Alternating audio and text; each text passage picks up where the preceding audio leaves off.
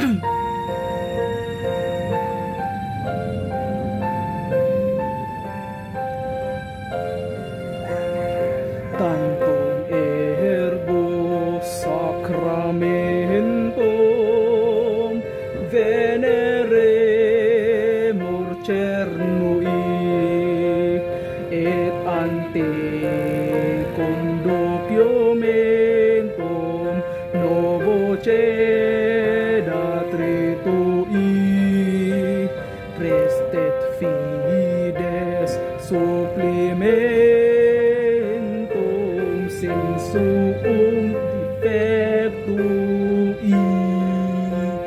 gene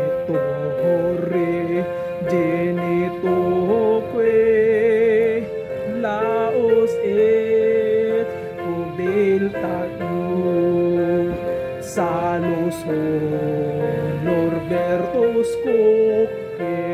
sit et benedictio procedente